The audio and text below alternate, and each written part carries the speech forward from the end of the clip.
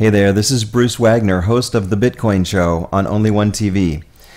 The first question I get asked about Bitcoin all the time is What's a Bitcoin? It's the state of the art in money. It's a new form of electronic money. It's already become the gold standard of digital currency. You know how email changed old fashioned mail forever? Well, Bitcoin is changing money forever. Based on some old technologies and some new technologies, Bitcoin is the result of combining the very state of the art in cryptographic security, plus the idea of a limited quantity commodity similar to gold or silver, where there's only so much of it, and using it as money, and the idea of a massive number of computers connected by the internet, forming a strong, resilient, indestructible peer to peer network. It's called a cryptocurrency. Since the invention of Bitcoin, money will never be the same. The next question everyone asks is why would I use Bitcoin? Bitcoin is the world's first completely decentralized currency. The history of mankind has never seen a currency like this. This means that there's no issuing entity, therefore, no single point of failure. In many ways, Bitcoin is more secure than your bank. If your bank were to fail, your money could be gone forever. The Bitcoin network is made up of millions of computers all over the world connected via the internet. The entire internet would have to go away in order for the Bitcoin network to fail. Bitcoin is as easy as sending an email, just one click. Bitcoin payments are sent with one click, just like an email. And transactions are always as free and as fast as email. Bitcoin has zero transaction fees. In the United States, merchants pay $45 billion a year in credit card transaction fees. And for what? So that the transactions can be reversed as chargebacks up to six months later? That doesn't seem fair at all. Bitcoin transactions are free, whereas credit cards and other online payment systems typically cost 3 to 5% or more per transaction, plus various other exorbitant fees. Bitcoin usage and transactions are always free. It doesn't matter if you send one cent or a million dollars, the transaction cost is always the same free. There's no such thing as a chargeback with Bitcoin. Payments are irreversible. This is great for merchants. No matter whether you accept Bitcoin payments for your business or otherwise, payments cannot be reversed. There's no such thing as a chargeback, no way to get a bounced check, no reversed transactions, not with Bitcoin. Payments can only be refunded if and when the recipient voluntarily, as a separate new transaction, decides to send the money back. This protects merchants from fraud. Credit cards and PayPal can and often do reverse transactions up to six months later. Bitcoin is as anonymous as you want it to be. This is very unique in electronic currencies. Just like with cash, transactions can be totally anonymous. Transactions are only identified by your Bitcoin address, and you can have as many Bitcoin addresses as you want. You can create another new Bitcoin address with one click anytime you want to. So Bitcoin transactions can be made to be as anonymous as you want them to be. Financial privacy. Gone are the days of identity theft. In the old days, credit cards required merchants to have proof positive of your identity in order to shop there. Because a Bitcoin address can only be used to receive money, it cannot be used to extract money. With Bitcoin, the merchant only needs to know two things Did you pay? And where do you want your stuff sent to? Isn't that the way it should be? Does your banker really need to know what you buy online? Your account cannot be frozen. No one can freeze your account and keep your money with Bitcoin as long as you keep control of your Bitcoins yourself and don't keep the Bitcoins on an online bank or wallet service. See the Security tab for recommendations. No Big Brother. Third parties cannot prevent or control your transactions. Transfer money easily through the internet without having to trust middlemen, no central bank, no central authority. There's no censorship of who you're allowed to send money to. No more blocking who can make pay- who you can make payments or donations to just because someone doesn't agree. It's not a bank, it's not PayPal. What may be the best feature of all, bye bye PayPal, bye bye bank. It's more secure than online banking existing in the world today.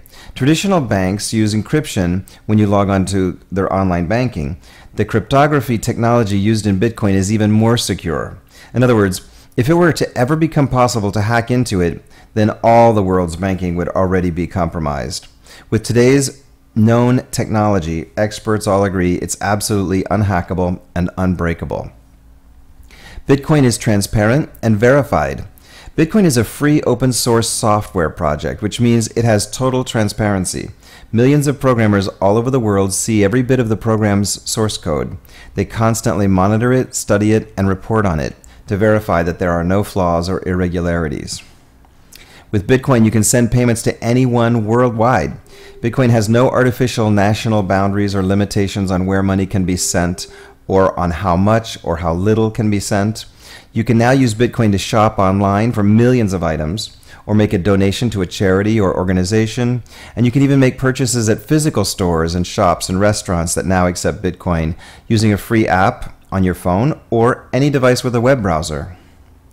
There's no central bank. No privately owned Federal Reserve central bank can print more money for themselves. Not in Bitcoin, anyway. The value of each Bitcoin does not go down when the privately owned corporation known as the Fed decides to print more dollars. In fact, Bitcoin might even go up in value as it triggers more people to seek out alternatives to storing their money in the world's fiat currencies. Which leads to what may be the best benefit of all.